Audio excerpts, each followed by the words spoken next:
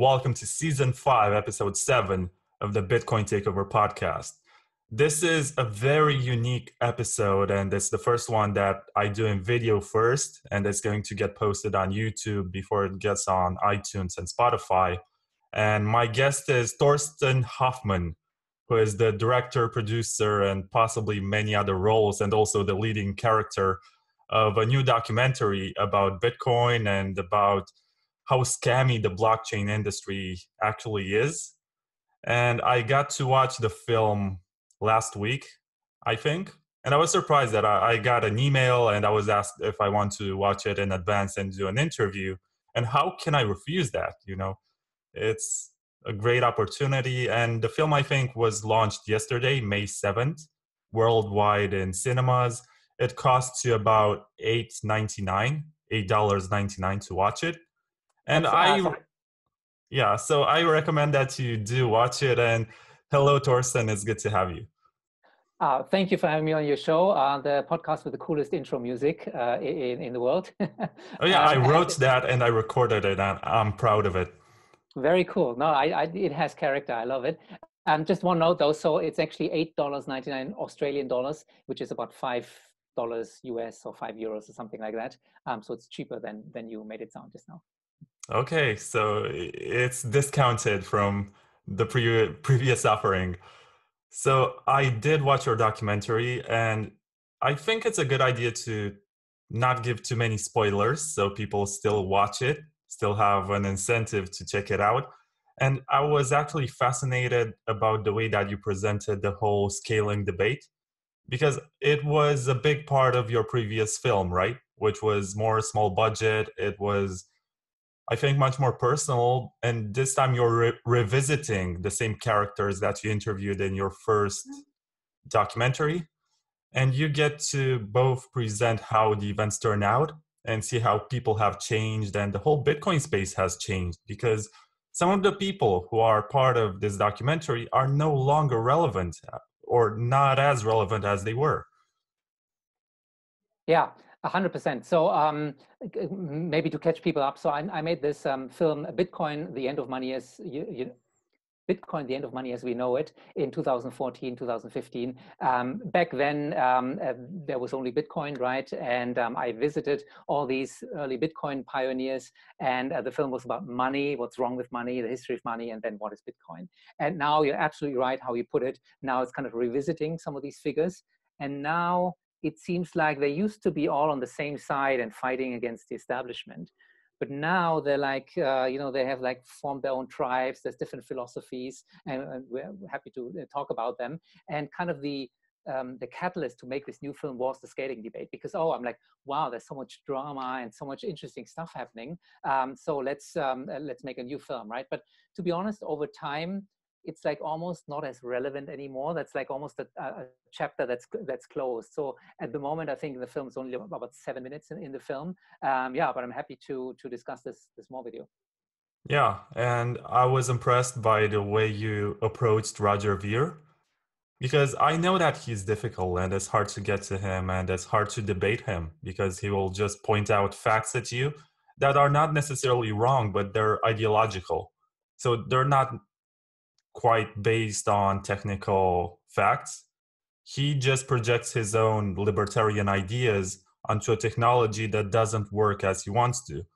And I think that's what the scaling debate was all about. And that's why it got nasty because in the early days, transferring Bitcoin from one wallet to the other was very cheap. And everyone was thinking, oh, this is free money. This is like a way of unbanking the bank and all sorts of catchphrases that they were making up at the time.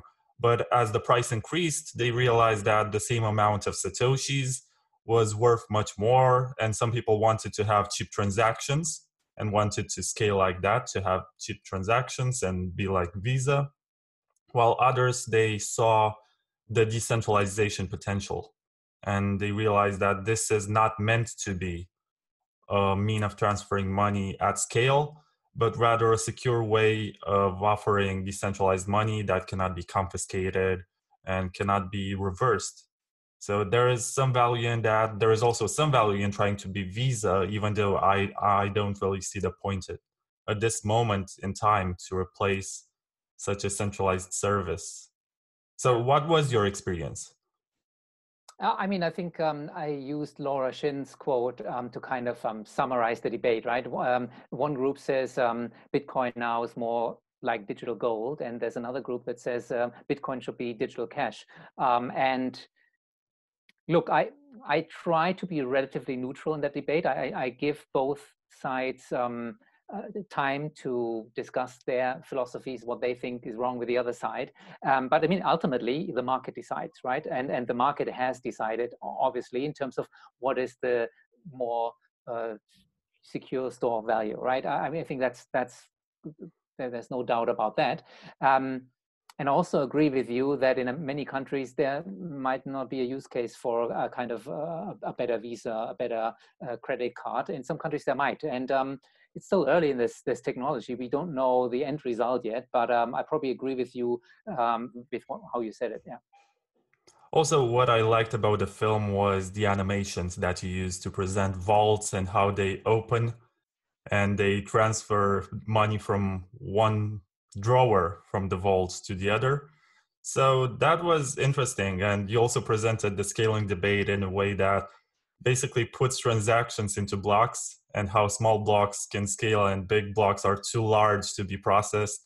I mean, I spoke to some no coiners who have watched the film. I sent them the link and they did not get it. But to me, it was impressive because it's such a complex issue, but visually you were able to compress all that information into one small presentation. Yeah. I mean, the, um, so I mean, I obviously try to reach newbies as well with a film. Um, I mean, a film like this, you can, you can think of it almost like a funnel, right? So people um, read about uh, Bitcoin uh, in the newspaper, right? And then hear about it in a news channel or something. And then after they hear it maybe 10, 20 times, then they may watch a, a, documentary. And then later they go deeper down the rabbit hole and eventually they end up at a podcast, especially a podcast like yours maybe. And then eventually they, they buy Bitcoin or, or something like that, right? So I'm, I'm on top of the funnel when I'm trying to reach millions of people. So my first film was licensed to 20 different countries. So we were on, on, on a television channel in Sweden and in the Philippines. We were on Singapore Airlines, you know, in, in China on platforms. Um, so I do try to reach a, a, a, much more larger audience, but I can't explain Bitcoin to to non-technical people. So it's, it's almost like an impossible ask, but I, but I tried very hard to make it especially the beginning, the beginning 20, 30 minutes is kind of like newbie friendly. And then it gets maybe a little bit more detailed um, uh, later on. But um, yeah, look, uh, I'm sure that your friend though had a good time and had a few good moments. And surely it's a good conversation starter for them to ask you. So what, what did this mean? What does this mean? And when I do this, you know, it's, it's like conversation starter. And that's what that film should be. Oh yeah, I agree with that. And also I should mention that the film is structured in three very distinct parts. And the first one is about Bitcoin and how the Bitcoin project has evolved and moved on since 2014, 2015, when you were promoting your first film. The second one is about altcoins and projects like Ethereum and what happened to them and all that ICO mania that they generated. And the third part, I would say, is about the blockchain mania, with lots of companies that say they want to create their own private blockchain and they want to use it for whatever purpose that doesn't really make much sense. And you also expose some scams and you i think my first not my first my favorite part is where you get the founder of the erc20 tokens the erc20 standard and he says you know like 5% of projects are scams and all the rest are legit but not maybe that they cannot handle their they they cannot fulfill their plans.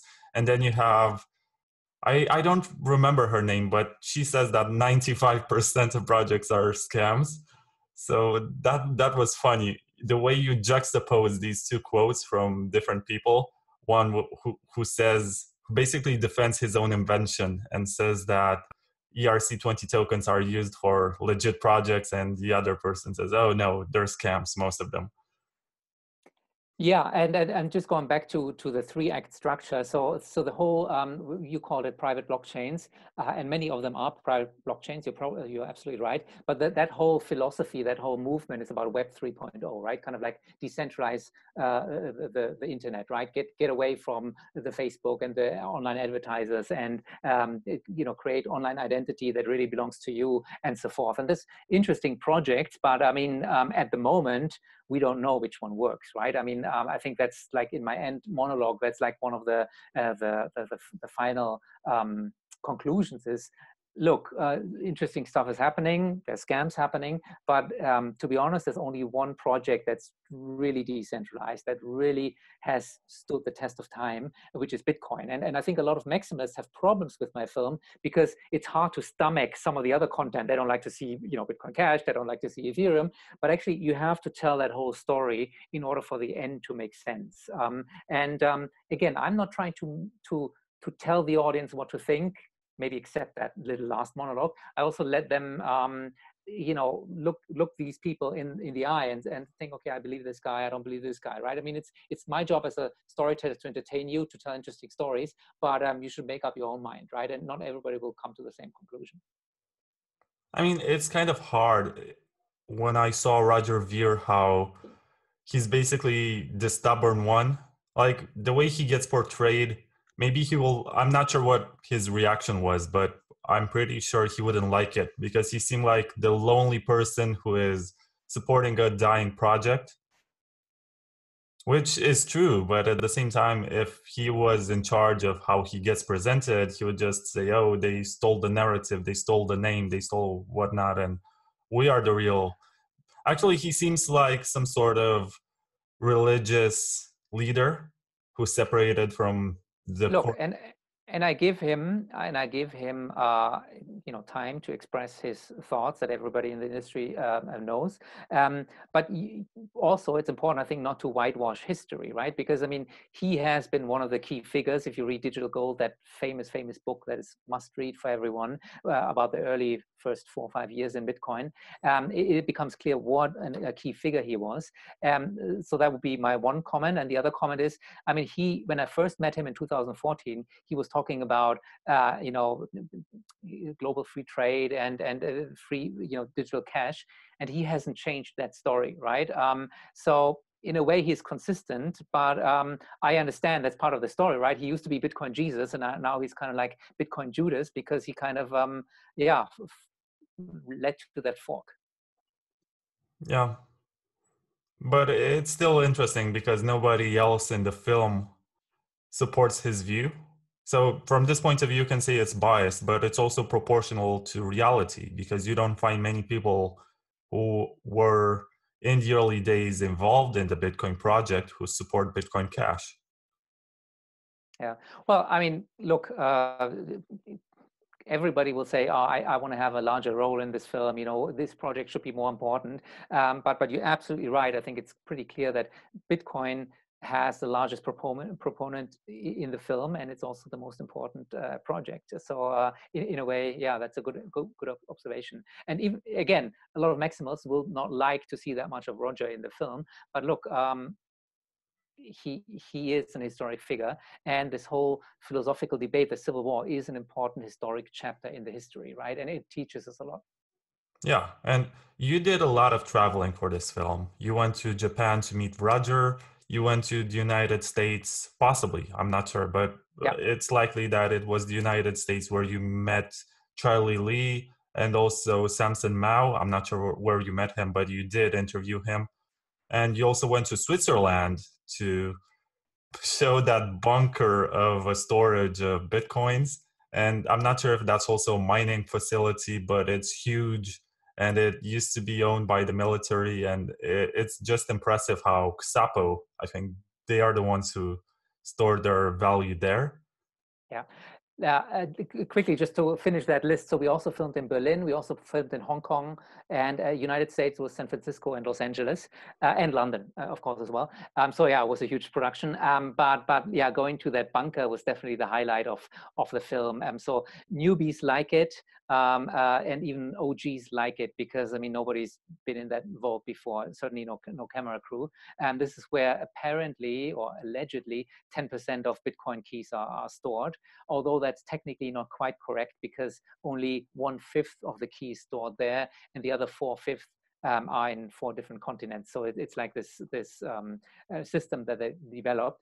I know that um, you know the the purist will say, well, you have to hold your own keys, uh, otherwise it's not your Bitcoin, which is true. But undoubtedly, there's this um, demand for custodial uh, services, right? So if you are an investment fund or you take care of other people's money, or if you're just not so techy or you're scared of losing your keys, you use a service like that. And, and Xapo has, I think, uh, 7 million uh, customers at the time of filming. They might have a lot more now. And uh, wow, that shoot going down into that military bunker and, and seeing those, um, yeah, it was incredible. It looks incredible. And I also enjoyed the view from the security cameras that you used for the footage. It painted the whole picture, you know, that you're the ones filming, but you're also the ones being filmed. Yeah, and actually, uh, an interesting story maybe for for you listeners. Um, so I had, sorry, is my camera shaking too much? Okay, um, so I had um, a screening in Switzerland with a lot of um, bankers, right? Traditional conservative bankers. A lot of them still don't get it, but they're interested, but they still don't understand it. After watching this Bitcoin bunker scene, they're like, oh, now I get it. There's really infrastructure being built. There's really value, billions of, of, of, dollars stored there. This is not just a hobby project. Bitcoin is serious business, right? And I think that's like when I exit uh, that uh, that scene, I'm saying something. Well, if you don't think Bitcoin is challenging the concept of money, you haven't been paying attention. That's that's the quote. Oh yeah, I very much like that. And yeah, you went to great lengths to produce this film. I suppose you had a great budget and you also had sponsors. I don't know how it works, but you did a great job from this point of view because you went all around the world to show what Bitcoin is like.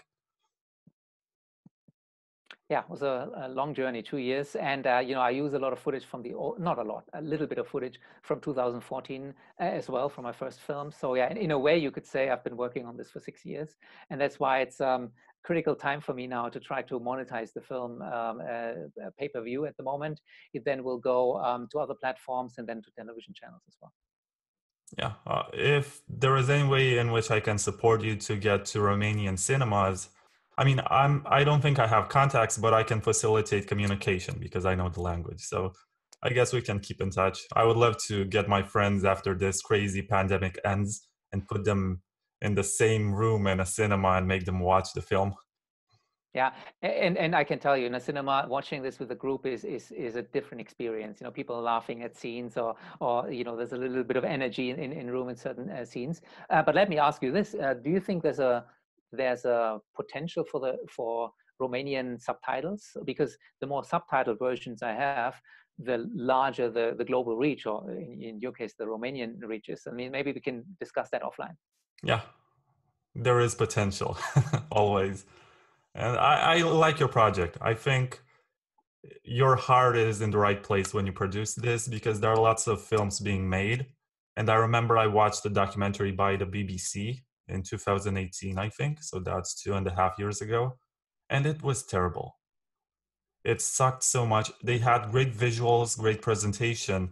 I think they understood how mining works quite well. But other than that, they fail to grasp how Bitcoin works and to present it as such. Yeah, and you look, they, they might might not have been from the community, right? I've been in this community for six years now. Maybe that makes a difference as well. Um, and um, one thing I, I do want to maybe add to this point, but also to your earlier point, is the BBC or Discovery Channel or Netflix is not going to license this film um, if it's a fanboy film, if it's if it's one-sided, um, and it just talks about one one project this needs to be about the movement, about the different tribes, about the tribes fighting each other, about a supervillain, about a hero, uh, you know, Jesus and a Judas, and and you know, and this you need these elements. And um, uh, if if you do it right and i'm trying to position myself as like the the journalist asking tough questions right? And making everyone feel a little bit uncomfortable making every you know like asking tough questions to these people and, and looking into their eyes and, and and see how they react. And i think that is important if you want to get a, a global reach for this film. Oh yeah, you need a Campbellian story arc of the hero, right? The hero's journey, except that the hero is Bitcoin in our case you have people who support it, people who try to take it down, people who try to replicate it, people who try to steal parts of it to make it private.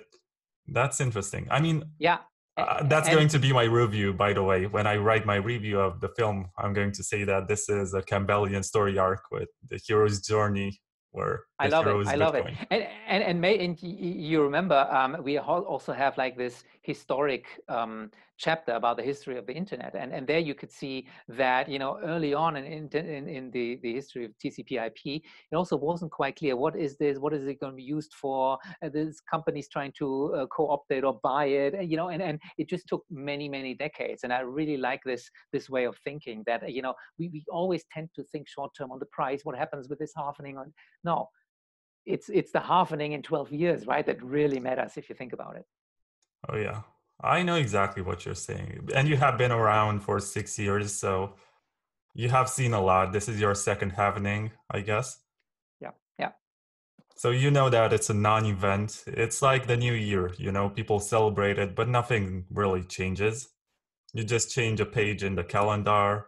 Maybe in the case of bitcoin it does change. Actually not maybe definitely it changes because miners are going to have to adapt to a different environment and they're going to have to become much more efficient if they want to keep on operating and i think that's part of the beauty of it because they have to constantly innovate and renew their technology and use the cheapest form of energy which just happens to be renewable and i saw a discussion okay I actually had a guest in this season who is a very big fan of mining with oil. And now that oil, I think a couple of weeks ago, we even had negative prices. There was this huge, you know, brainstorming, and they were saying, okay, so how about we buy oil and burn it to mine Bitcoin? But I, am not a fan of that. I mean, we, we have sunlight, right? Look at it, how it's ruining my otherwise perfect picture we should use this yeah i um i didn't have enough time to um, go into mining uh, for, for this film but um, i really like the concept of you know what is ultimately in this universe what, what is the ultimate currency? It's energy right? Energy is what everything is made of and makes happen. And and bitcoin equals energy right? If you have energy you can create bitcoins anywhere on the planet instantly and then you can transfer that value any anywhere else instantly. I mean that it's a very powerful uh, concept. And and um, andreas i think i have a little youtube video uh, where, we, where he talked about this and i'm sure you know about this much better than I do. Um, this whole concept of well maybe you have a wind farm or solar farm in the middle of nowhere no people live there uh, so the energy is kind of um, uh, wasted or you, you wouldn't even build your solar farm there. But with bitcoin you can right? And so so it's a way to to kind of kickstart that that uh, sustainable energy revolution in, in a way. Yeah. The energy that doesn't get used can actually produce something. That's a powerful thought because it's hard to transfer energy. It's also hard to store it for longer amounts of time and move it somewhere else because you can argue that it's needed and there are places that don't have electricity. And that's a valid concern. You're going to say yeah but how can you actually transfer energy? I mean i suppose nikola's tesla wanted us to transfer electric energy without wires and cables but we haven't gotten to that point i think. Yeah. Who is super fascinating character in his own right. Yeah. Also, what I noticed in lots of documentaries about Bitcoin, they present lots of scams and they don't make the distinction. And that's what scares the audience usually because they say, oh, this is Bitcoin, it's revolutionary, it's gold 2.0, digital gold, digital money, whatever, peer to peer electronic cash. But then they show something like BitConnect and OneCoin and they make the transition without any context and then they interview people who have lost their life savings investing in those scams and in the minds of people there's going to be this association that's wrongful between what bitcoin is and what all of these other scams are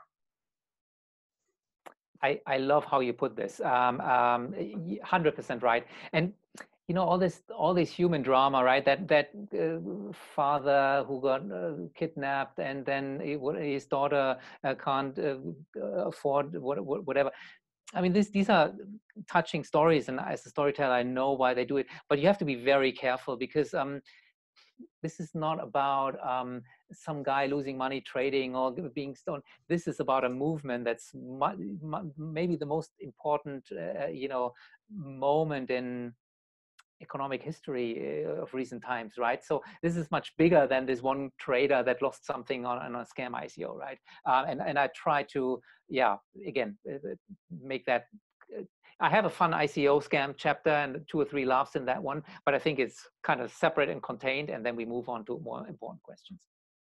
Yeah, and I, I think it was useful that you interviewed the person who invented the ERC20 standard because it is due to his invention that lots of scams have been enabled. And you confronted this view with him, and he did not agree with it, not entirely. But if you look at all the ICOs, they were just the ERC20 tokens that were built on the Ethereum blockchain. And you can just copy, copy and paste the code and create your own token in like five minutes. And then you create a landing page with your ICO and you transfer the tokens according to some sort of plan that you created and that's mm-hmm. it you had an ico it's insane how many people got rich doing this. And it was also funny that you showed what's the name of that scam? Prodeum or something. The one oh, yeah. that left all investors with a blank homepage which just said penis. Yeah uh, the, but but you know the maybe a, a meta point here is right maybe in, in, in a technological revolution, there has to be this stage where the, there's a lot of uh, new money dumb money flowing in, a lot of speculation, a lot of hype. Everybody talks about it. A lot of people getting rich, and then they're losing it every uh, all. The same thing happened with the dot com uh, bubble uh, when the internet came out. Right? People people started their own website, Torsten.com, and did an IPO, and uh, there was no business plan. There was nothing nothing behind it. And and recently, two three years ago, people started Torsten Coin and, and thought that's going to be mil- you know worth millions. Of course, looking at it now, it's stupid, it's silly, but maybe we needed to learn that lesson, right? Yeah. But sadly, I think we're going to see the same cycle at least once with another bull run that we're going to have. And there's going to be lots of money pouring into Ethereum and Ethereum killers and Ethereum 2.0 or whatever they invent. And it's not going to be 100% legit. And there's no way to prevent this because that's the whole point of decentralization. Anyone can mm-hmm. use the technology for anything. I don't think that human greed has any sort of miraculous cure. So there's going to be investors for all of these projects. There are people who basically have the mindset of let's put a hundred dollars in every scam and hope that one of them goes 100x. So if I put my money in 50 of these, then I will still have a profit if one of them goes right. 100x. So I, I, agree with you that human greed, there's there's no no stopping uh, human greed and human stupidity. I agree with you, but I'm not. Sh- so I, I want to think that in the next bull run, those super scammy BitConnects and OneCoins, and I, I don't even know the names of them, that they hopefully don't happen. But but maybe you're right because it's just a larger audience, and there's always some some guy peddling the the newest thing to some naive investor. So yeah, maybe you're right. I'm not sure there's also this mindset that even though you know that something is a Ponzi, and it's obviously one, you know that if you get in early enough and just wait a few months and then withdraw mm-hmm. your money, it's likely that you're going to make a profit because that's how Ponzi's work. Early money is the one that wins, and the last person to enter is the one who pays for everybody else's gains. Yeah. So that's yeah. why it works, I guess, because people assume it's the early days and they keep on dumping their bags on somebody else. And there's going to be a greater fool out yeah. of all of this. I remember so, there was news about BitConnect 2.0 launching, so I don't know what to say. I, I only saw the headlines and I, I, didn't even, I mean, yeah, it's just, but maybe some people will fall for it. Yeah.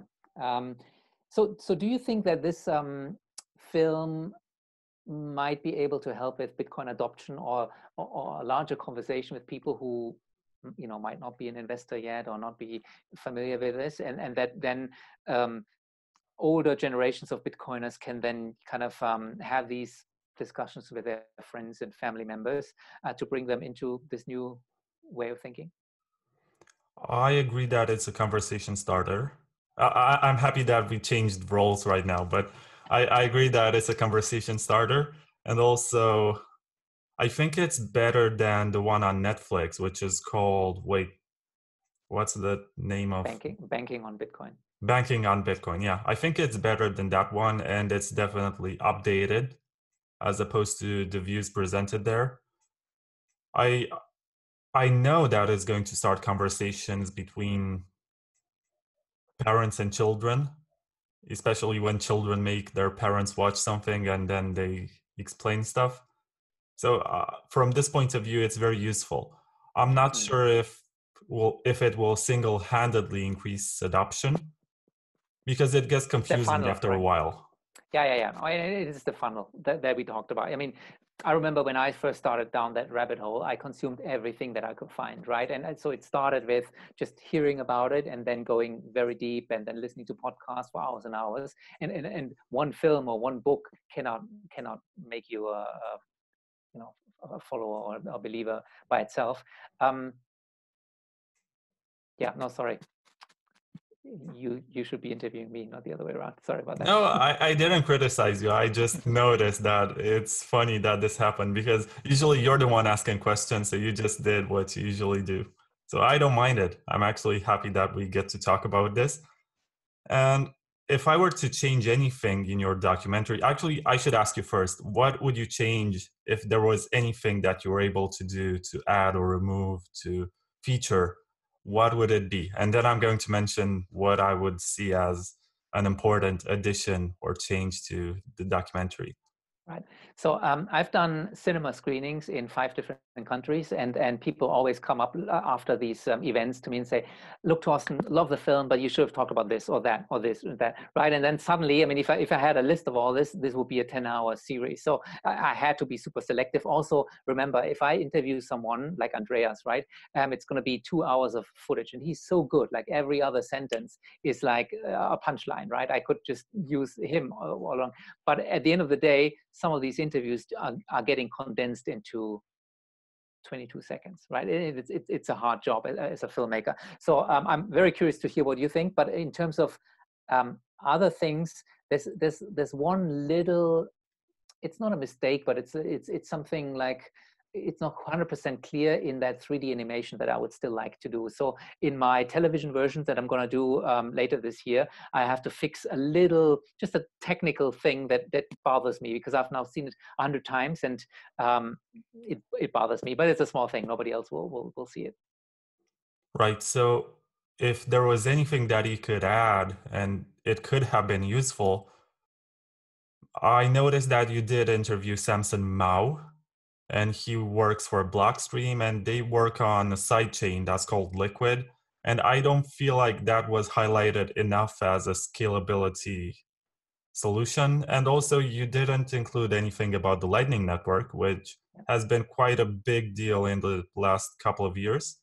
Yeah, actually let, let, me comment on that one so um like so that whole like like i said earlier the whole civil war was kind of how I started that project because it was so interesting, right? Um, but but we tested this. So I, that chapter was, used to be much much longer, and you know Roger fighting against all these guys. It was entertaining and funny and stuff. But we tested it, and a lot of people just found it confusing and not that relevant to the larger movement. Um, and I actually did have something on Lightning, even like a 3D animation. Talked to Samson about it. I talked to many people about it, but it was just um, it was just one of those things that had to be cut because it was getting just too long. It was like a, a one hour 40 minute uh, uh, film at one point. But I think I mean, that is a very fair criticism. I should have at least maybe mentioned it because in a way that is the solution to what um, Bitcoin cashers are trying to do, right? Like like a, a cheap digital cash, and that that is a second layer um, um, solution. So I think that's that's a fair criticism. Yeah, and the whole whoa, look at my color. The whole idea of Bitcoin scalability is that you're going to build stacks on top of the base layer. So you're going to have a solid and decentralized base layer, and then you're going to add another second layer and then a third layer and side chains and all sorts of inventions that come on top of the base layer so that they bring different types of innovations and features that cannot be put on the base layer because it's supposed to remain decentralized which is exactly what happened with TCP/IP and the internet, right, over many decades. Yeah, and that's why the best of engineers who are involved in Bitcoin development are the ones who came up with this idea and they supported it and they did not want to compromise the base layer by increasing the block size. And I looked at interviews, I I researched a little bit about the history of supporting, you know, Bitcoin Classic and what was the other one unlimited and mm. then there was there was another one but before segwit 2x and all of that i mean these people the ones who supported them did not some of them did not have the best of intentions and some of them were just business people who just wanted their businesses to scale faster so they did not care about the technology they just wanted their businesses to handle more miners, operations. Right? Are you talking about the miners who had a had a commercial interest to have larger blocks? Look, I, oh I no, know that, that was just Bitmain because uh, yeah, yeah. Segwit yeah. was disabling one of their ASIC boosts, so they were not able to mm. get the same kind of performance with their devices. So from this point of view, it was commercial interest on their behalf, and that's why they jumped so quickly to Bitcoin Cash. Actually, they co-founded it, I think, but I don't want to get sued by them for these claims. Hmm. Well, um, there's there's a quote um, uh, from Andreas, which I don't think made the final edit, but uh, he kind of said that a, a little bit is a little bit too early to. T- we don't really know yet. Um, this is going to be uh, uh, playing out in the next decades. I mean, obviously, um, Bitcoin is stands far all the other projects.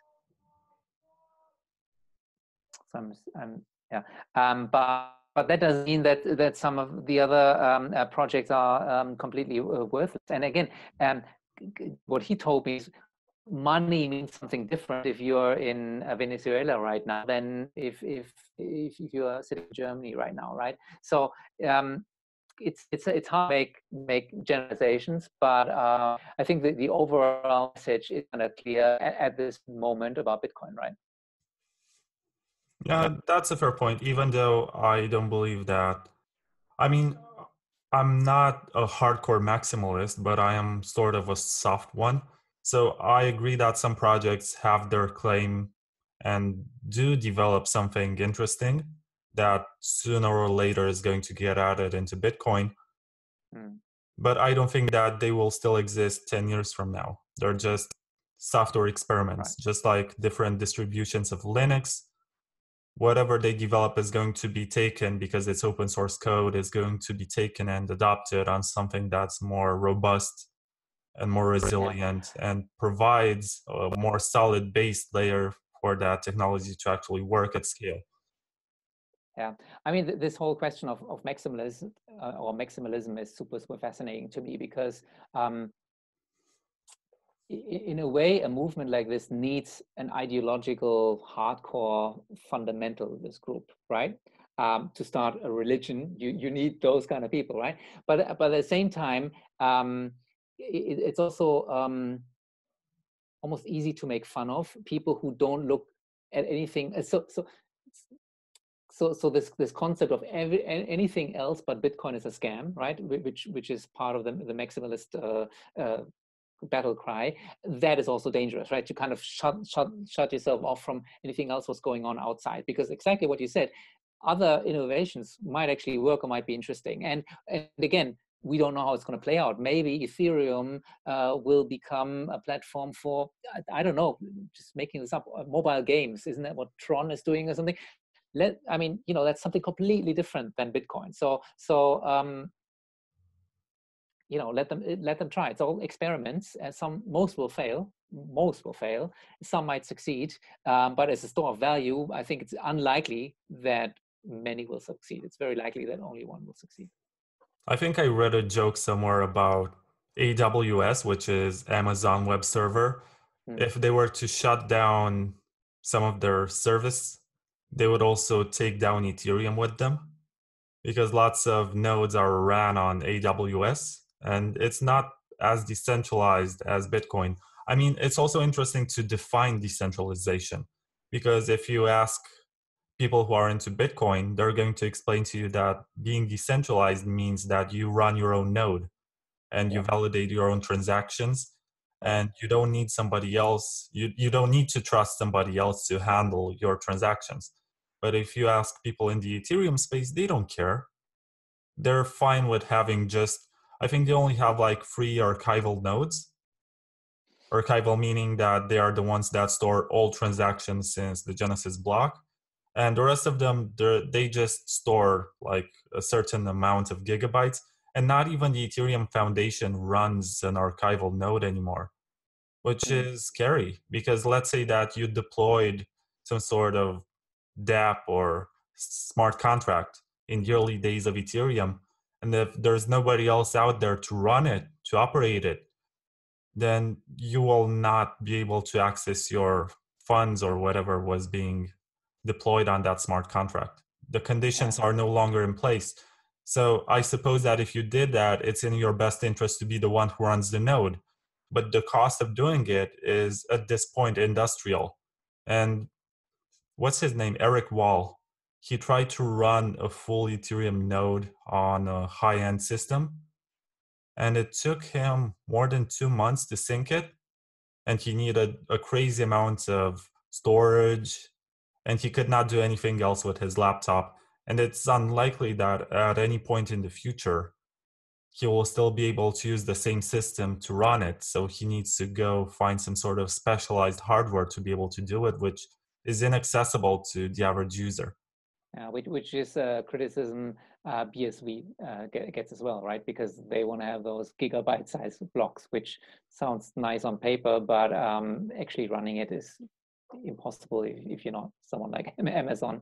Um, I think, you know, um, after visiting all these people and talking about some of the scams and some of the winding back of the, their blockchains and stuff like that, the, the quote in the, in the film is, um, you know, looking at all these leaders of these projects, um, my line is, but just how different are they from our current political, financial, and business leaders? Are their systems really resistant to corruption, immune to manipulation, and worthy of our trust.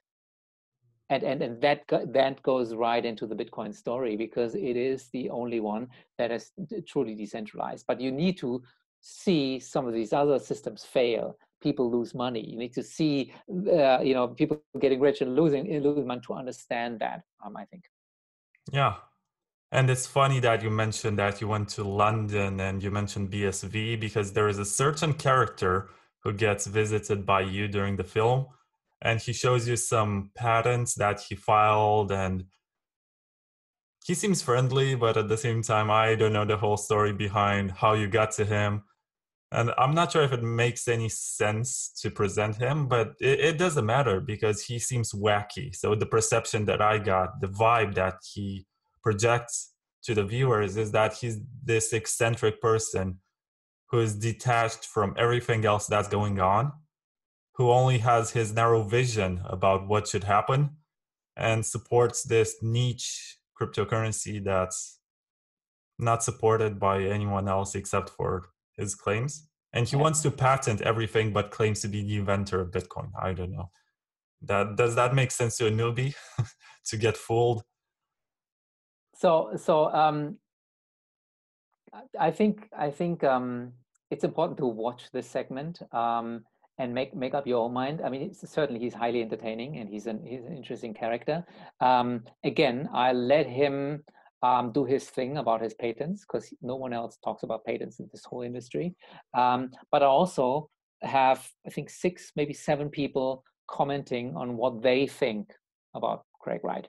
Um, so um, don't don't be. Uh, there's a reason why he's in the film, um, and it's it's it will become clear when you watch that scene. Um, so don't be don't be uh, put off by by seeing his face uh, on, on the trailer. I didn't watch the trailer, actually, to my shame. I didn't. But I did watch the entire movie, and it was interesting to watch him and observe the way he behaves. And you played chess with him, or was it was that really a game of chess, or did you just do it for show? It was uh, uh for show because we had two cameras circling us, and I got the shot that I wanted. Um, but yeah, we we weren't actually playing. I heard that he cannot even code a hello world program in C++ when he was asked. So I was curious to know if he can play chess. Can't tell you the answer to either question. okay.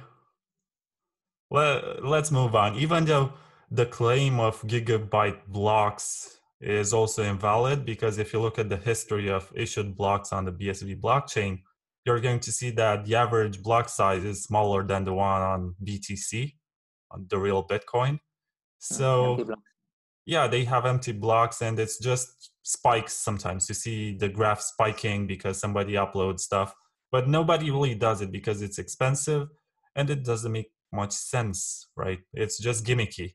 They try to do their own version of Twitter and Instagram on the blockchain. But what's the point? Um, I was surprised um, a couple months ago. Uh, I was in London uh, before the whole pandemic, and there was this um, BSV conference, I guess.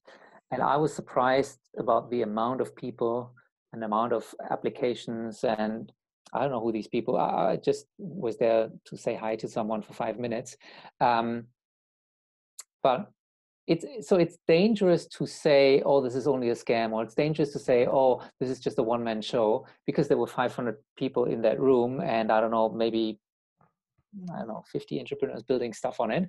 Um, it's still probably 100 times smaller than ethereum. Ethereum has this large you know entrepreneurial ecosystem around it and, and bitcoin slightly different because bitcoin has that one uh, clear use case uh, whereas ethereum has maybe hundreds of use cases with without really knowing which one has has yet to be figured out. Uh, but you know, this is who knows how it's going to play out. I, I, think it just belongs into this film because it's part of the story. It's part of that movement. Yeah, it, it would have been interesting to go to Calvin's island and also interview him. But uh, did you even contact him? No, no. I mean, look, uh, uh this whole the BSV thing. Uh, I get criticized a lot for even having Craig uh, in in the film, and uh, to expand that chapter more, um, yeah, no, there was no no interest uh, for me to do that. Okay, because I suppose, if I'm not mistaken, at some point you mentioned that when Bcash was created, it was with the support of a gambling mogul. So you, you do mention him. Oh yeah, yeah, that's true. That's true. So uh, yep. Um, basically we let Roger say, okay, did you know that they they um his his um his whole spiel about digital cash, right? And then basically I say, well, Roger teams up with an, a controversial um billionaire, a controversial online gaming gambling billionaire. That's Calvin Klein. Um, Bitmain and this guy, and then Craig Wright. Um, so so that I kind of um, summarize that movement, so the early Bitcoin Cash movement, with those four characters, which isn't entirely true. There's other people and stuff like that, and then they split again, right? But but that's that's a storytelling tool that I that I used. Yeah, that's that's correct. I did I do mention it for a second. So the film was launched yesterday to global audiences, and you can watch it for about five dollars right now. Did you get any kind of feedback or emails, reception, anything, critiques? Yeah, so um, we have, I think, 25 reviews or something on, on IMDb. So our IMDb score at the moment is 9.2 or something. So um, uh, that feedback has been good. Uh, feedback on Twitter from like the wider community has been uh, great. Um, feedback from the 10 or nine different cinema events um, that I've done is, is, has been great. Although, I mean, clearly some Maximals don't like parts of it. Some uh, uh, people say, well, you should have done more with Ethereum or more with BSV, right? So, I mean, I can't make everyone happy, but I think I kind of capture this moment in time. And um, I'm super proud, uh, maybe I should say that, I'm super proud of the fact that um, all types of audience kind of find something in this film that really speaks to them. So another example is I was in Luxembourg, and the guy, the uh, the guy, um, blockchain responsible guy in the EU Commission was sitting next to me, and another Ministry of Luxembourg digital transformation. And those guys, after the film, they were on the panel, and they kind of related their work to the film, right? And then I went to Switzerland, and this is all about money there and investment, and they related what they're doing with custody of bitcoins to the film and you know the bunker scene. So there's this content in it for for everyone, and I think the the end message people will have to see for themselves. But I think it's it's a valuable. Um, an entertainment entertaining uh, a, little film that hopefully gets the conversation started. And th- this film might not be 100% suited for you or one of your listeners but it might be perfectly suited for their friends who have now heard about bitcoin 20 times but still haven't quite gotten it. So with this film hopefully they, they understand the wider movement around it. I'm certainly happy that the film was directed, written, and produced by somebody who is part of the community because it's hard for me to imagine what it would have looked like if it was somebody who just landed in this whole crazy space and had to figure out while doing the movie. And do you think that you would have done anything differently if you didn't know as much? If you got into Bitcoin, let's say a year ago, you think your perception would have been different and you would have presented everything differently? Yeah, no, I think I think that that historic perspective uh, really helped me or helped shapes my view. Right, somebody else might have different views, um, which is a good thing, but maybe it's also a bad thing because I, I, I come from from a slightly earlier period, and I might uh, have, you know, not interviewed people that otherwise I would have. Right, because um, a lot of these you know, this whole Wall Street movement and all these people in New York right now, um, they are very important in this in this scene, right? But I, I didn't even go to New York. I didn't even talk to them because for me, the hardcore Bitcoiners, the hardcore, uh, you know, uh, the, the cypherpunks are kind of what Bitcoin means to me. If you ask someone at Wall Street, they might think something different. So yeah, I guess it really matters who you are and how you tell the story for sure. Also, there is a segment in which you present a legit business that has used the private blockchain and an ICO, I think, and it's about renewable energy and stuff like that. And I was thinking, why does it make sense? Because you ask them, why do you need a blockchain for this? And they they present the basic response. You know, they stop double spendings and they support their coin, which incentivizes people to save energy which uh, is a legit claim, but they could have done everything that they did with that project without being on the blockchain and without issuing their own tokens and by having investors into the project. So it's nice that they're doing it, but at the same time, they should not claim that it couldn't have been done otherwise. Hmm. There, there's a you know the, the critic in the film david gerard he's kind of the, the guy who makes fun of of the, the this whole movement um, and he said something uh, quite interesting um, about private blockchains he, he basically made, made your point said well you know the Wal, walmart private blockchain project is it's just a centralized database because it's it's run by Walmart and it, Walmart tells their suppliers to use it and now it's called blockchain supply chain da da da da. Um, so what's the point, right? That's what you just said.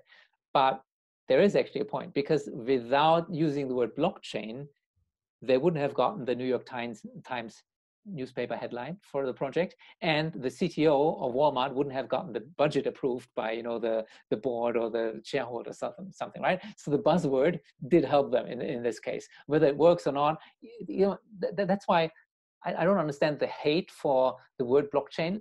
I mean, let them build their blockchains, let them build their, their database. What, what, what does it bother you, right? If, if you want to stack your sets, that has nothing to do what Walmart does with their supply chains of avocados. So uh, I, I don't see a problem with that.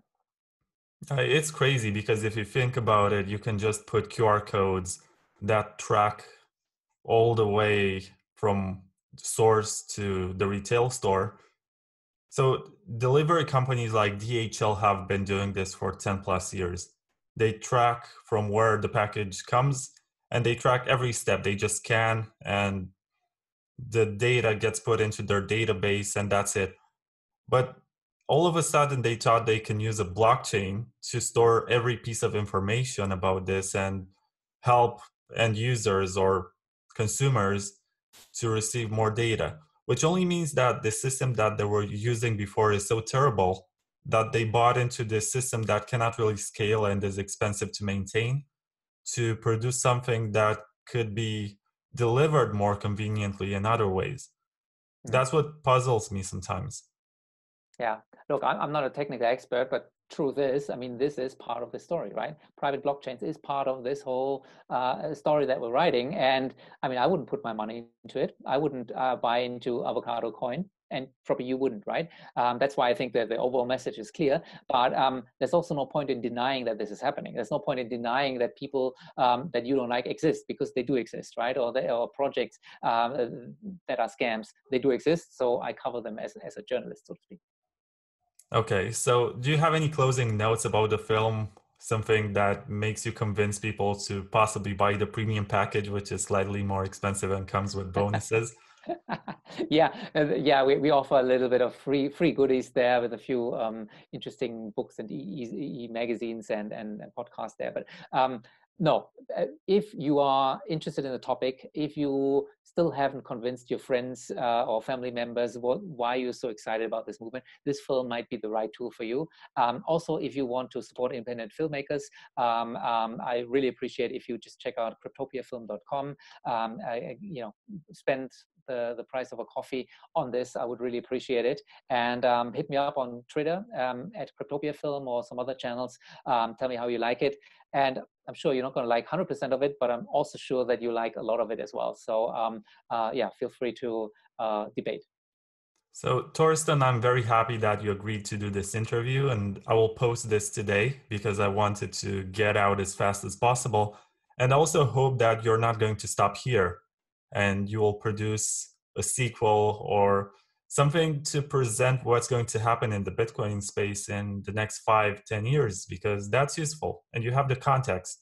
And i suppose that by now you have the contacts so and, and historic footage right? Historic footage so to speak from mm-hmm. 14 2019 and yeah it'll be interesting. Yeah. You're like the cinema guy of bitcoin who presents what has happened in the last six years now that's useful and we need that and i'm personally grateful i'm not sure about other people maybe that they have different expectations that's fair we all want something from others but i think that what you do is great and i want i hope that you keep on going well, thank you so much for your show. Um, again, uh, this was a great interview, and I love your entry, uh, the, the, the intro music as well. And um, thanks for having me.